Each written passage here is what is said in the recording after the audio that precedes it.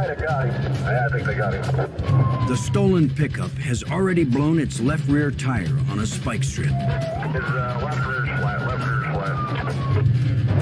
He's gonna get blocked in here. Yeah, he's gonna probably. The green truck drives across the grassy median. Whoa, whoa, whoa. Now the suspect speeds the wrong way down the freeway. Southbound.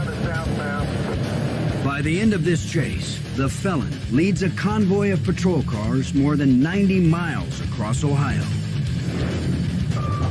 Okay, coming back across. Coming back across. Right exit. Jumping the grass right now. Coming out. Going through the ditch. Ditch. Okay. He's back on the road. Somehow he keeps that wrecked truck on the road.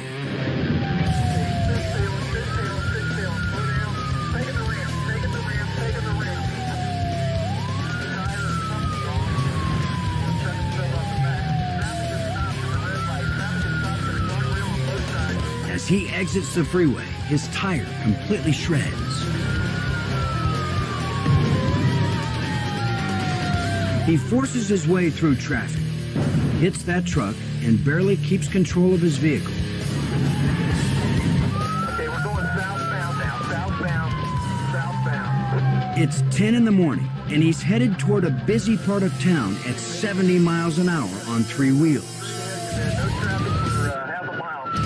Officers want to pit the vehicle, but hold back.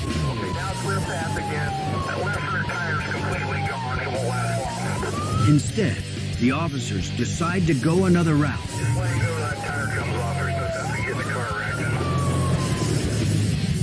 He accelerates past a second spike strip.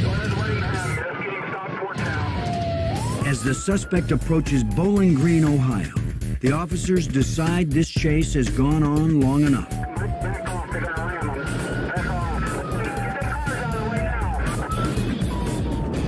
When an officer attempts the pit maneuver, he nearly runs over a third spike strip.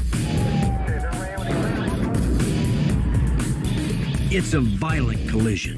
The Bowling Green police officer takes him out hard.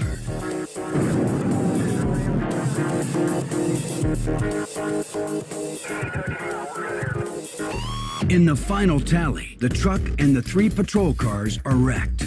No one is injured. The suspect faces charges of felony fleeing and several counts of felonious assault on a police officer.